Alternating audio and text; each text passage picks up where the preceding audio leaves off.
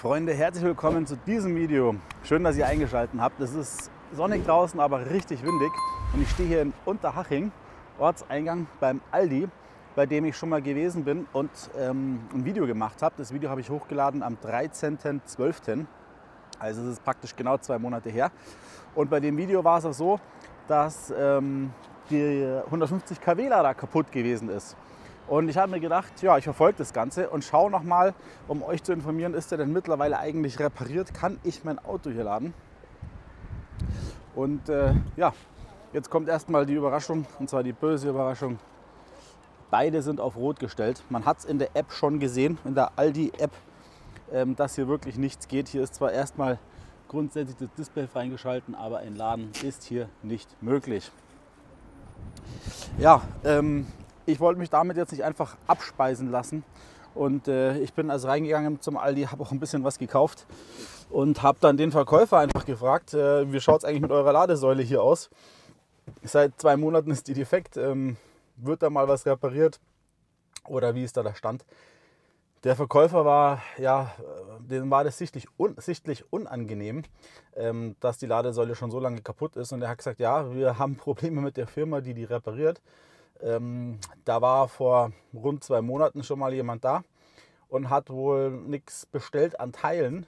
Und äh, deshalb äh, ist die immer noch kaputt. Und angeblich war vor kurzem noch mal jemand da oder es wird bald noch mal jemand kommen. Es hat nämlich jemand von der Firma angerufen sich gewundert, ja, was ist denn jetzt mit eurer Ladesäule eigentlich los?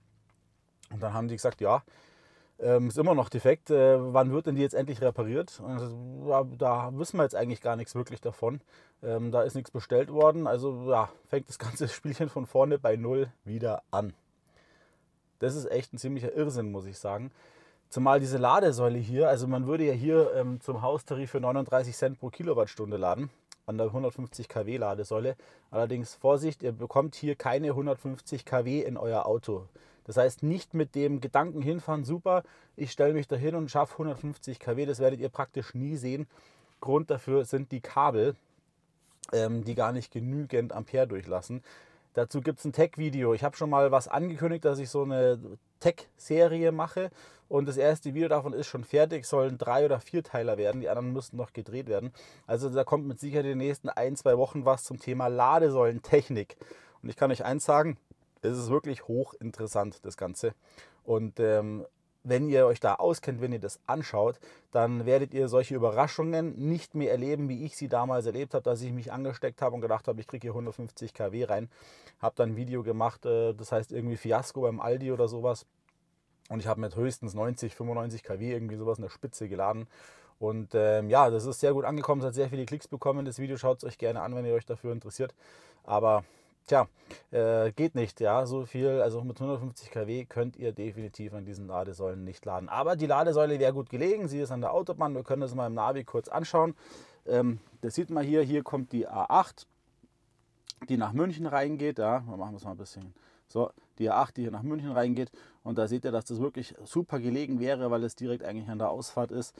Und ähm, ja, wenn man dafür 39 Cent die Kilowattstunde laden könnte, nebenbei vielleicht noch was einkaufen kann, wäre das halt relativ, äh, eine relativ gute Option. Aber seit zwei Monaten geht sie nicht.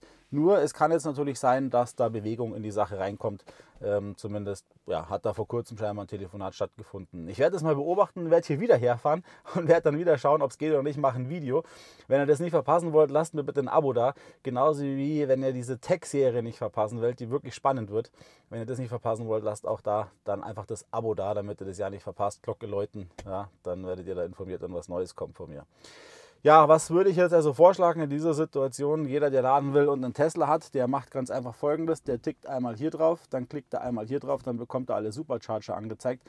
Und hier unten rechts ist der Supercharger Brunntal. Und ihr seht das in der Nebenzeit, also genau jetzt würde ich für 38 Cent die Kilowattstunde dort laden können, also sogar um einen Cent günstiger als beim Aldi. Und äh, ja, beim Aldi am 150 kW Lader, wo ich vielleicht 90 kW reinbekomme, wenn es gut läuft, ähm, tendenziell vielleicht sogar weniger. Wenn sich hier zwei anstecken, ähm, halbiert sich die Leistung insgesamt, dann wird sogar noch weniger als 90 kW, die dann noch übrig bleiben äh, pro Ladeplatz. Ähm, ja, und beim Supercharger schließe ich mich an, Zahlen sind weniger und habe die volle Ladeleistung in aller Regel zur Verfügung.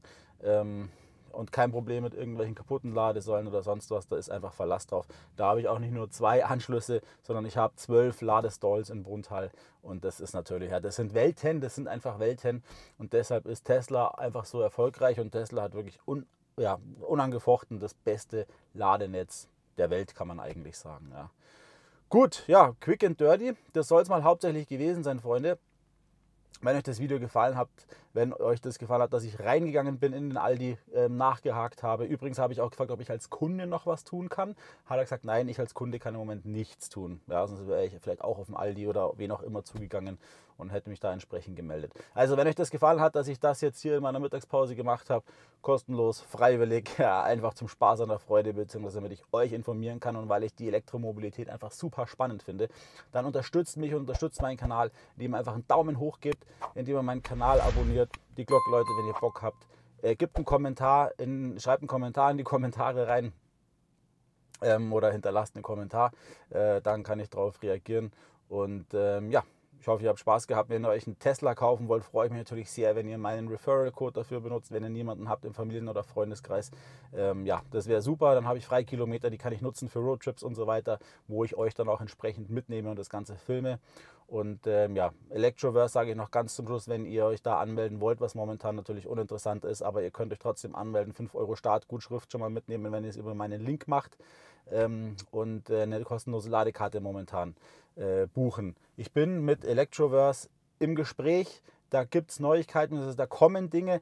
CityWatt kommt mit großer Sicherheit wieder zurück und äh, meine Anregungen sind alle in London gelandet. Ich habe quasi am Tag, an dem ich dieses Video jetzt gerade hier drehe, habe ich nochmal Kontakt wieder aufgenommen zu Octopus Energy, der Mutter zu Electroverse und äh, habe danach gehakt, was los ist. Und äh, ja, meine Anliegen sind in London, ja, in der Zentrale, in der Firmenzentrale, da wo auch die Entwicklung stattfindet und so weiter. Also das heißt, sie sind schon mal an der richtigen Stelle, müssen halt wahrscheinlich noch drüber entschieden werden und so weiter. Ich kriege aber ein Feedback von denen und ich werde euch informieren, also abonnieren nicht vergessen, dann seid ihr informiert. Freunde, danke fürs Zuschauen, euer Big O Electrify, macht es gut, schönen Tag, ciao, ciao, servus.